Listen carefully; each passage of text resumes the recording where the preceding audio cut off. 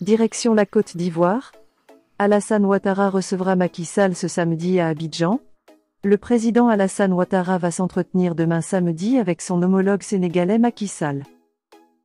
Le président Alassane Ouattara va recevoir samedi à 13h en audience, son homologue sénégalais Macky Sall.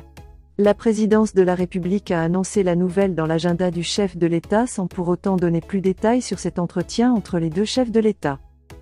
En raison du contexte politique dans la sous-région, on peut bien deviner des sujets de discussion entre le président Ouattara et Macky Sall. Les discussions pourraient tourner la situation au Niger où la CDAO est en dos au mur trois mois après le coup d'État contre le président Mohamed Bazoum. Rappelons que le président Alassane Ouattara a été très actif sur le dossier nigérien. Le chef de l'État avait promis la participation de l'armée ivoirienne à une opération militaire de la CDAO pour rétablir l'opération militaire au Niger. Dans un contexte d'incertitude et de prolifération des crises à l'échelle mondiale, la construction d'économies africaines autonomes, résilientes et prospères sera, cette année plus que jamais, une priorité pour le plus grand rassemblement annuel du secteur privé en Afrique, ainsi, autour du thème Réussir malgré les crises, de 300 à 3000, comment accélérer l'émergence de la prochaine génération de champions africains, plus de 1800 chefs d'entreprise et de gouvernement sont attendus pour engager une réflexion de fond sur deux défis majeurs de la souveraineté économique du continent.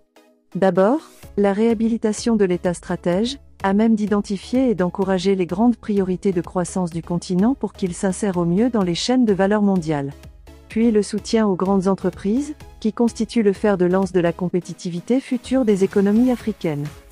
L'idée est de créer les conditions d'un dialogue qui permette la mise en place de politiques publiques favorables à l'émergence d'une nouvelle génération d'entreprises africaines réalisant un chiffre d'affaires supérieur à un milliard de dollars. Si le continent veut limiter l'effet des crises exogènes, la multiplication des champions africains apparaît comme une nécessité absolue. Parmi les personnalités confirmées pour ce nouveau rendez-vous figurent les chefs d'État ivoiriens Alassane Ouattara et sénégalais Macky Sall. Aziz Akanouche, le chef du gouvernement marocain. Maktar Diop, directeur général de la Société financière internationale, SFIUIFC, groupe Banque mondiale, co-organisateur de l'événement.